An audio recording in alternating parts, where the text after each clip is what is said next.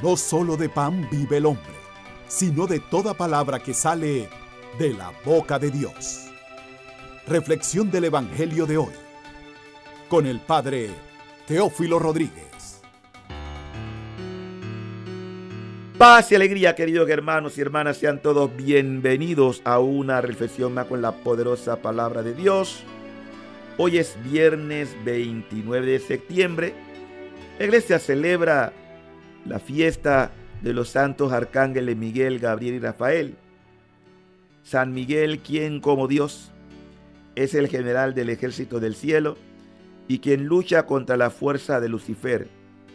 San Rafael, medicina de Dios, es el guía de Tobías y quien ayuda a Sara de liberarse de Asmodeo. Además cura a Tobit, padre de Tobías, de su ceguera.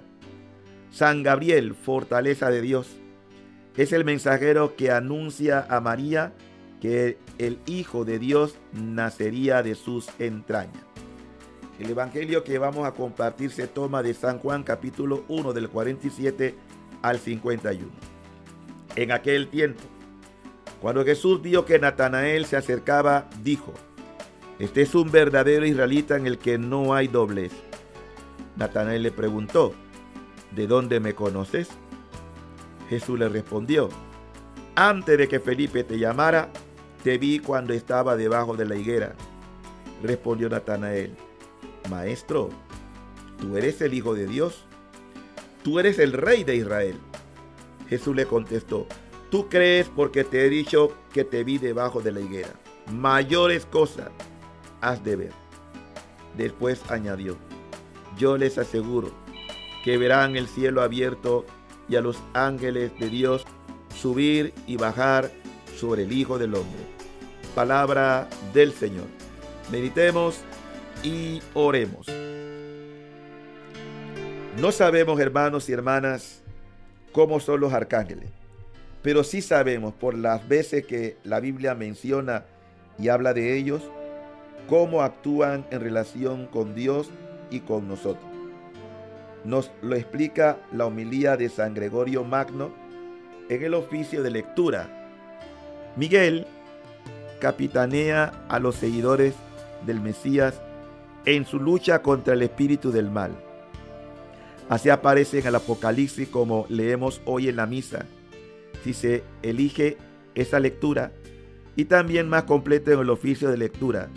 Pero ya antes en el libro de Daniel aparece mencionado el capítulo 10, 13 al 21. Miguel es el príncipe que lucha contra el demonio y defiende al pueblo de Dios. En la carta de San Judas, versículo 9, se le llama explícitamente el arcángel Miguel. Gabriel aparece también en el libro de Daniel explicando el sentido de sus diversas visiones. Vemos el capítulo 8, 16, capítulo 9, 21. En el Evangelio es Gabriel quien anuncia a Zacarías el nacimiento de su hijo Juan y a la Virgen María su elección como madre del Mesías. Lucas 1, 19, 26. Rafael es el arcángel que guió al joven Tobías en su viaje, al que luego curó a su padre, llamado también Tobías, de su ceguera, tal como nos cuenta el libro del mismo título en el Antiguo Testamento.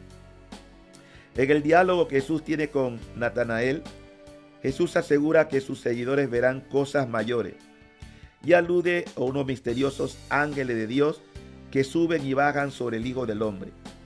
Es una alusión evidente a la página de Daniel y se refiere a la misión que estos ángeles tienen al servicio de Dios y de Cristo el Mesías. En la relación a Dios, los arcángeles que hoy celebramos aparecen sirviéndole y cantando sus alabanzas. En relación a nosotros, como los que nos ayudan en la lucha, los que nos anuncian la buena nueva y los que nos curan de nuestros males. Esta fiesta nos invita a dar gracias a Dios por la cercanía que nos muestran a través de estos seres misteriosos y nos debería estimular a ser cada vez más como ellos.